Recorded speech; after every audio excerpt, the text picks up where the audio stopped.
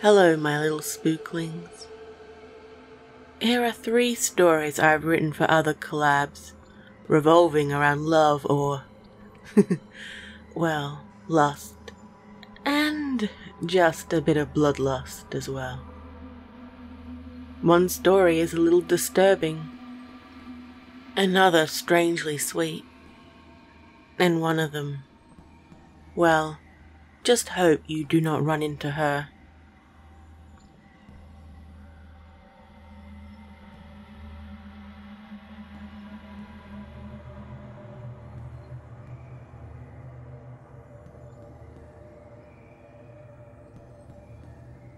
All my hearts. Valentine's Day is my favorite day of the year. There are public declarations of love, heart decorations everywhere, and the romance speaks to me. I never want to be alone on this day, and I admit I will go out to find my very own special Valentine. I love all the romance. I will find the loneliest man I can find. It doesn't matter whether it's in the flesh or online. A lot of them don't want to be alone on Valentine's Day either. And I don't blame them. I'm pretty sure there are some men who are attached, who come to see me. I would bring them to my home, seduce them. I would promise them the time of their life, whisper how they would forget everything else. And they believe every single word whispered from my lips.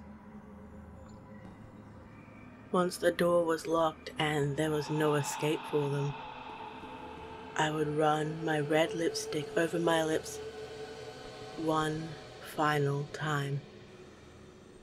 Naturally, it was touched with a hidden surprise. I would lead them to my room of love. There is a long wooden table in the middle of the room. Greek and Roman statues decorate the edges. They have been dyed red with blood, with only small white areas still remaining. And the walls? The walls are decorated with the hearts of the previous year's victims. Each heart has been drained of blood and coated with varnish. I never want them to rot. I want them to stay with me forever. So far, there are 15 hearts that hang from the walls. And usually, when they reach this point, they tend to have an inconvenient urge to scream and try to run for their lives. I am well versed in this. I would trip them and they would fall backwards onto the floor. Before they realize it, I am straddling them and lean forward to give them their final kiss. The poison on my lips acts fast. Soon, they are completely immobile, helpless to me. I want them to feel it all. I slowly tear their shirt open, revealing their bare chests to me. The twin tools of my trade are a sharp knife and a pair of bolt cutters. As I slice the skin, I whisper to him how much I love him, how much I adore him. Everyone deserves to hear that, don't they? I slice the skin slowly pulling it away. Occasionally, I have to wake them up. They're in too much pain and fear, the poor darlings. But I must have my heart.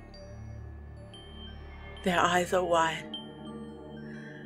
I crack their ribs to gain access to their heart. It's quite messy, but it's my favorite part. I cut around it and pull it up. Hold it in my hand. I will always admire it. Every heart is so, so different. Truly unique. I bend down and kiss his lips. Thank you. I whisper softly. Stroke their cheek with their still beating heart in my hand. Happy Valentine's Day, everyone. I hope you find a heart you love as much as I do.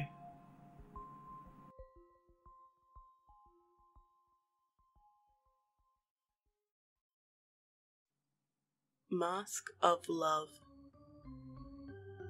Every Valentine's Day, I'm reminded that all men are sexist jerks. They remind me of that dickhead Tony who broke my heart when I was 15. It doesn't matter that I'm a lot older now. That fucking bastard. I was able to have my revenge on him. I slowly cut off the face I had loved so much. I keep it with me always. I didn't care that he had a girlfriend. We were meant to be. I just had to show him what he needed. I know what he needed, and every so often, it isn't enough to keep me satisfied. I need more. And I go out on the hunt. When I am like this, it doesn't matter who the person is because I always hear Tony's words coming through and I can relive those final moments again and again. The hardest part is finding the right person. He has to fit. He has to. He has to be perfect. He has to be white, five foot ten to six foot, no one shorter, athletic build, and with the right face. He doesn't need the clothes at first, but don't worry, I have Tony's old clothes. I'll make it work. I'll make it work, I always do. they might be a little bloodstained, but they're still still good. I make sure they are wearing the clothes and I cut their their hair if I need to. And I I always keep some as a souvenir. Because there is nothing like a little keepsake. He needs to stick to the script or get angry. he, he has to choose to do it. I, am not a monster, you know. He, I, he has to choose it. So I lock him in a cage, naked, with Tony's old clothes. He is, well, usually the new Tony is told to put the clothes on, and most of them do. a little, a little blood here and there has never hurt anyone. I tell them to sit across me at the dinner table, and they need to tell me how much they, they love me. I I cheat a little. I I even leave Tony a note to help him, you know, to tell him the things he's supposed to say. I will start by asking him if he loves me, and they're usually so, so overwhelmed with love at this point that they start crying and everyone needs a pointer and a little hand now and then, so I, I place a knife or maybe a gun on the table. and they tell me they love me, and they follow the scripts and tell me that they want to marry me. I make them wear the mask I made of Tony's skin just to make it real. It's finally happening. I'm so happy. Tony finally loves me. We will live out our dreams together. But they always do something wrong. They're, they're so selfish. Why do they want to get away from me? I have to kill them. Oh, they're so, so mean to me. Maybe, maybe this year, all I want is my Tony. And this year, I'm gonna get my Tony.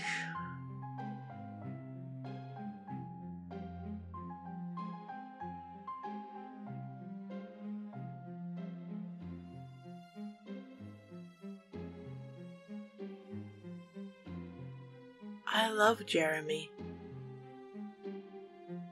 Valentine's Day has always been my favourite day. Well, except for my wedding day when Jeremy and I married over eight years ago now.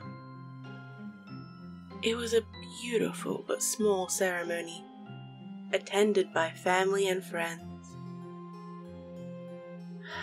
It was such a beautiful day. The gown I wore shone brightly in the sunlight, and I was the happiest I had ever been in my life. Every day was a blessing, and I did not know how truly lucky I was. Unfortunately, you never know at the time. Blessed is a word I would use to describe myself back then. But ever since Jeremy fell ill, things have changed. I have been the one who organizes everything for us. I cook the Valentine's Day dinner.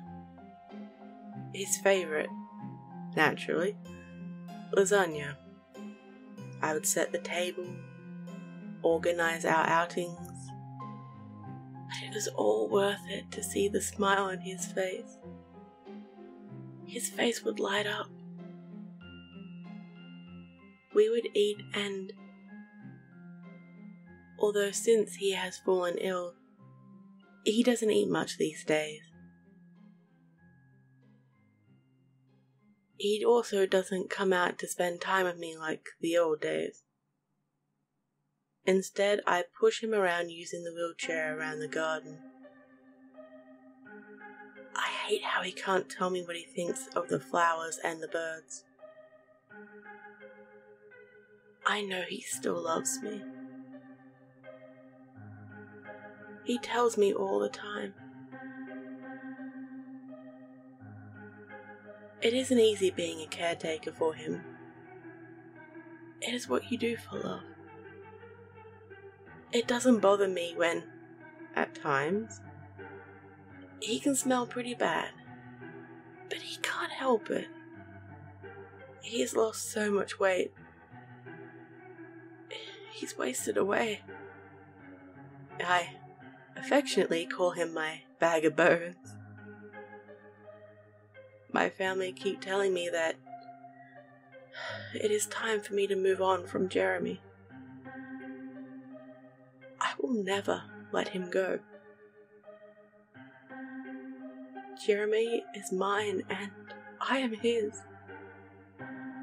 Forever. It doesn't matter to me. None of it.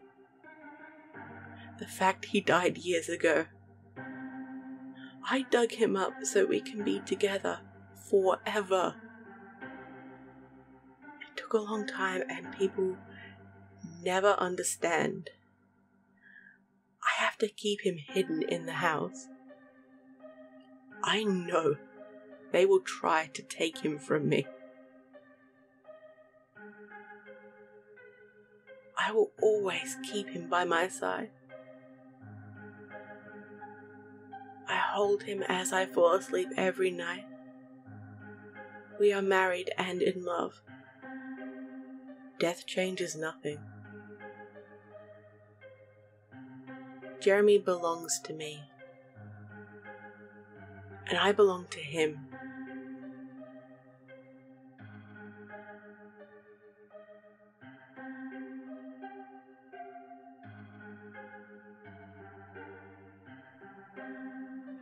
Hope you've enjoyed these stories, my little spooklings. Stab or gently caress the like button, share, comment, and I'd like to thank my Patreons. Stay safe, my little spooklings.